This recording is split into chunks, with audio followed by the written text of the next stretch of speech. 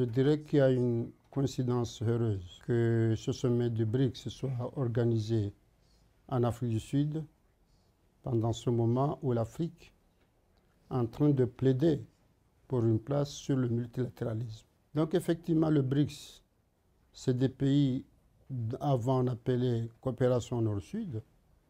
Tous ces pays avaient des coopérations avec l'Afrique.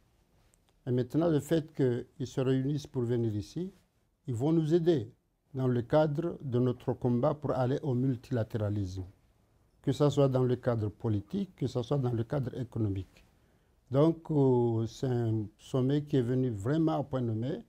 On a tracé les pistes à suivre et j'espère qu'effectivement, le prochain sommet qui va se tenir, ce sera l'occasion de faire le bilan de ce qu'on a gagné. Par contre, à part aujourd'hui même, quand on voit le bilan des échanges qu'il y avait entre l'Afrique et ces pays des BRICS, c'est quand même très important.